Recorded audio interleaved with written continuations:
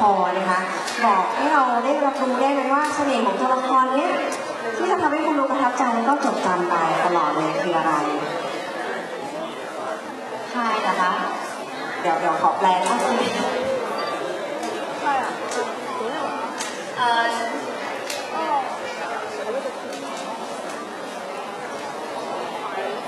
啊，对，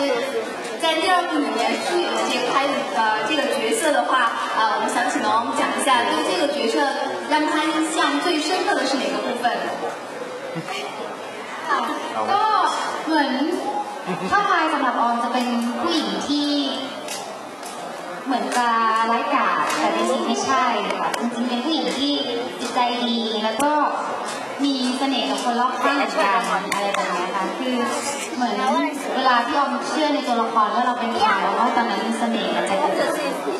这吗？你他给他啊他的外表看起来呢是一个比角色但其实不是哈他是一个非常心地非常好的这样一个角色的一个设定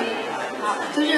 他把自己的感情融入到这个角色里面让大家观众欣赏了以后呢也能够爱上这个角色嗯让他嗨亚云要大家